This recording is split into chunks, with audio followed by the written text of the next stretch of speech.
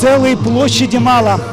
Тысячи щелковцев пришли на площадь Пушкина в Центральном дворце культуры, чтобы принять участие в народной акции «Бессмертный полк». Они держат в руках фотографии дедов и прадедов, чтобы пройти с ними по улицам города. Каждая семья хранит память о Великой Отечественной войне в письмах и фотографиях. Это память, ну, не могу больше, ничего не могу сказать.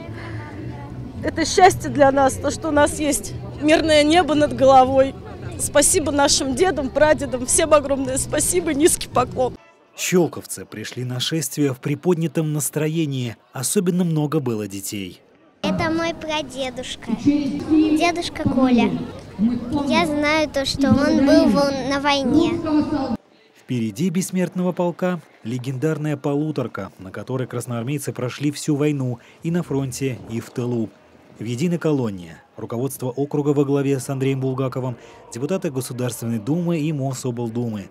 Море людей хлынуло по широкой улице Парковой к площади Ленина. Участники шествия, наряду с фотографиями своих родственников, сражавшихся в 41-45 годах, несли государственные флаги России, знамена Победы. Многих переполняли эмоции. Я вышла на бессмертный полк со своим дедом. Это мой дядя. Это отец мой. Это свекор. Дед на Курской дуге пропал без вести. Дядя на Ржевском направлении где-то погиб. Папа дожил до 60 лет. И свекор тоже. Это мой прадед. Он ушел в войну в 41 году э, добровольцем из Мутищинского района и дошел до Кёнигсберга. Пехотинец? Да, пехотинец, награжден э, орденом за отвагу, имеет много наград, грамот, но награда одна только боевая. Назовите его фамилию. Масников Дмитрий Васильевич. Участники бессмертного полка кричали «Ура победе!», пели фронтовые песни. По пути следования людскую колонну из окон домов приветствовали щелковцы.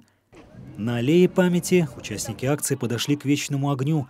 Глава городского округа Андрей Булгаков и двое его сыновей возложили цветы. После двухлетнего перерыва, вызванного пандемией, люди вышли на шествие по зову сердца. Как и 77 лет назад, щелковцы проявили единство. Память о подвиге советского народа в Великой Отечественной войне священна. Михаил Налетов, Валерий Жиглей, Сергей Василевский. Щелковское телевидение.